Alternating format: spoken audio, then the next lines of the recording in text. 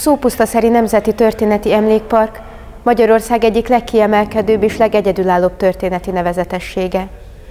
A különleges hangulatú jurták, a régmúltat idéző utcaképek és a park különböző látványosságai mind-mind olyan sajátos arculatot adnak a parknak, mely mindig újat nyújt, mégis otthonos. A park, bár számos programnak és kiállításnak ad helyet, mégis leginkább Feszti Árpád a Magyarok bejövetele című körképéről híres. A monumentális alkotás 1892 és 94 között készült el.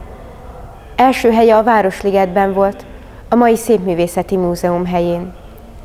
A kép a második világháború során súlyosan megrongálódott. Ma már azonban teljes pompájában csodálhatjuk meg Ópusztaszerem. Ami az egésznek a látványosságát, értékeit, művészeti és anyagi, materiális értékeit jelenti, azt a nemzetközi zsűri, a szakma a legérdekesebb, a legjobbak között tartják nyilván. Ma azt mondanák a fiatalok, hogy ez király.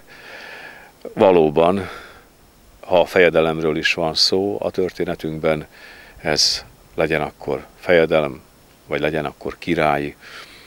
Nagy históriai érték, képzőművészeti érték és szimbólum. Ezt jelenti számunkra a világ körképei között, és különlegesen itthon, ahol azt gondolom, hogy az elsőnek lehet mindenképpen mondani.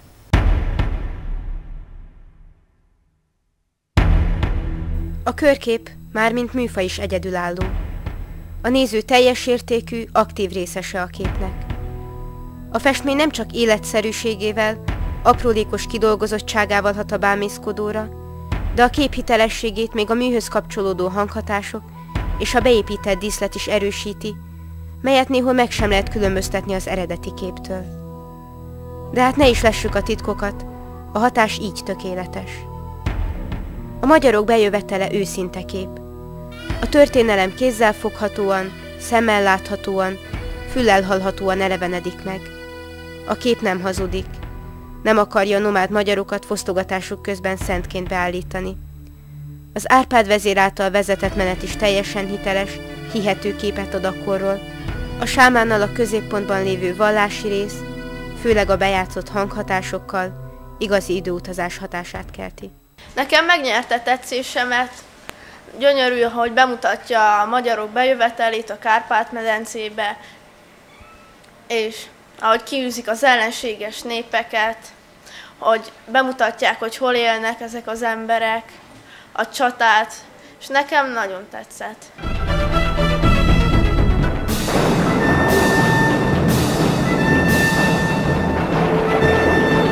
Nem csak egy festmény, festmény hanem ki vannak egészítve ö, egyéb eszközökkel, például kardokkal, földdel, pajzsokkal és egyéb ilyen dolgokkal.